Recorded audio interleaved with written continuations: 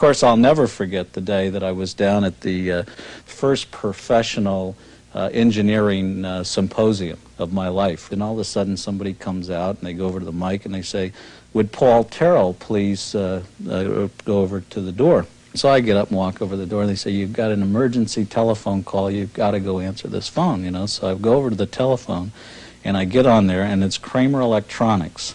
And the guy says, I just had a couple of guys in here. He says, I don't believe this. He said they were in here to buy parts to build a computer, and they had a written purchase order from you for 50 Apple I computers. And these guys have convinced me that if I sell them the parts uh, and give them 30-day terms, that they will build these boards up, they will deliver them to you, you will pay them COD. You know, I thought, hey, that's the deal. Uh, God only knows where he built it, but he showed up on the doorstep on the day uh, with the uh, with the parts.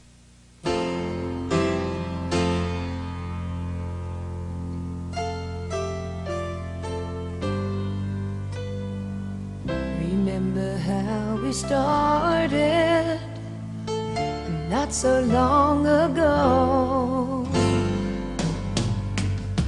I wanted a computer my whole life. That was my big thing in life. But I could never get even near enough to actually toggle the switches and put my own program in. And all of a sudden I just realized, hey, microprocessors, all of a sudden it's affordable. I can actually build my own. And Steve went a little further. Steve saw it more as, you know, a product that you can actually deliver, sell, and someone else can use. I remember, I remember driving down Highway 85, we're on the freeway, and Steve mentions, I got a name, Apple Computer. And we kept trying to think of other alternatives to that name, but we couldn't think of anything better. It, and also, remember, I'd worked at Atari, and it, it got us ahead of Atari in the phone book.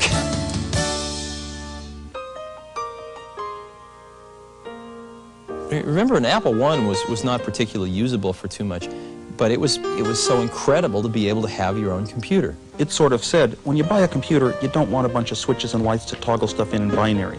You want a keyboard to start typing, and you want a video display to display all the characters. It was sort of an embarkation point from the way computers have been going in these big steel boxes with switches and lights to a completely assembled computer on a single board that you could be using within a few hours after buying it. Still, the audience had to connect it to their own video monitor, connect their own keyboard. Well, yeah, some people put them in these beautiful walnut cases, and some people put them in big metal boxes, and some people didn't put them in any boxes at all. And then having the club as a socializing gathering was a good way to show off. And I would hold the, uh, the PC board up in the air and answer a few questions, and some of the questions, what do you plan to add to it? And one of the things I thought about was color, a simple technique for generating color based upon just studying TV when I was in high school. So I started thinking, I'm always thinking, how do you reduce the number of components? And I came up with a much more optimal design that was half the components and twice the power. Plus it had color, paddles, sound, and all that in the end. That was the Apple II. Every few days, Woz would, you know, say, God, I've made an incredible breakthrough. I've, you know, saved a few chips here and there. And I remember this iterative process of watching him get to this incredible stage, but then figure out a way to take another few parts out and add three more features. And it kept getting better and better and better, and it was like a polishing. It was like you had something really neat to start with, but then you just polished it and polished it, and it got better and better and better and better and tighter and tighter. And it, it ended up, of course, you know, being legendary. Our dream was to have a computer in a plastic case, sort of, as a statement against those big metal boxes. And then uh, Jerry Manock was the person that uh, designed the Apple II case. From the time I met Jerry Manock to the time we had final drawings was three weeks. So we didn't uh, we didn't try a lot of things. We just did what what we thought would be great. And I think you know if you look at an Apple II today, uh, it still looks good. And that's that's not something that most products can say almost 10 years after their introduction.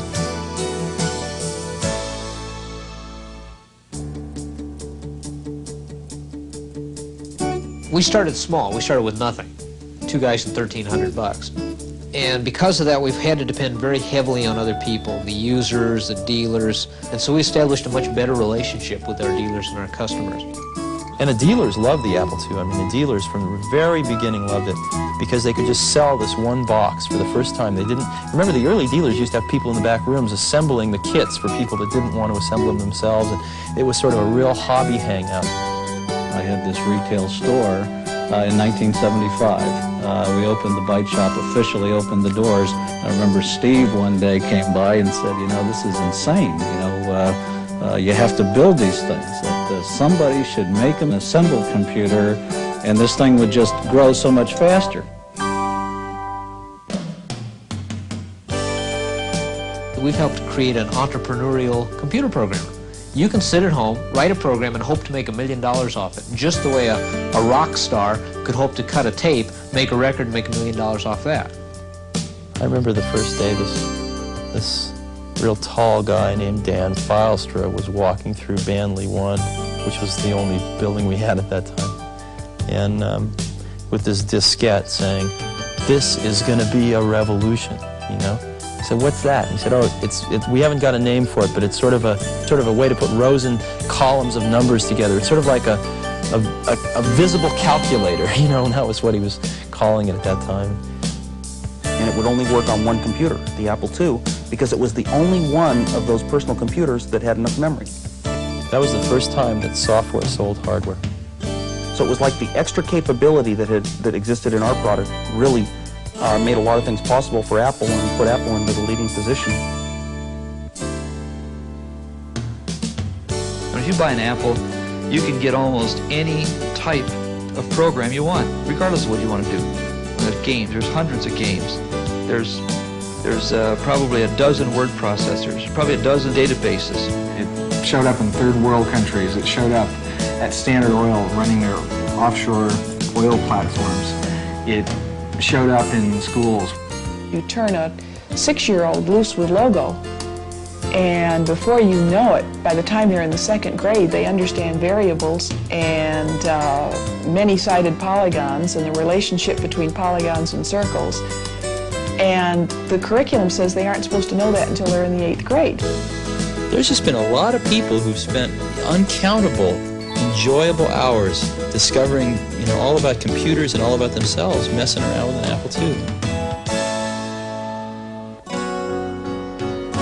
Every single step of the way, we knew that we were the leader. We knew why. We knew why this product was the best one. It was totally obvious. We, we changed, we upgraded the system from sets to floppies, from integer basic to floating point basic to lowercase. So we went through many of those improvements, and we always had to remember a huge body of prior customers that were so important. We really care about the people that buy our, our products. You know, we care about those people out there. Ever since the beginning, we sort of considered them, you know, part of the Apple family. And then we saw, you know, the same kind of resurgence, just an incremental kick when the 2E came out because there was a real pent-up demand. It was obvious there was a pent-up demand for a better Apple II. It provides more solutions for more people in terms of software and hardware put together to do a job than any computer in history. In history. We shipped more Apple IIs in the first four years than all the computers ever in the history of man that had ever been shipped. There's a lot of resurgence of interest in the two. And, and what's really interesting is you read more and more articles and you see more and more quotes about the Apple II lasting forever. I think it all just stems from mostly Woz's perception of the universe, which was trying to make stuff really great and really simple. It's so neat, you know, it's so fun to see. I don't know what's going to happen, but you know, I can. I'm just watching these guys, and you can just see those wheels spinning, and you know, boy, they're they're going home working, and there's some good stuff that's going to happen.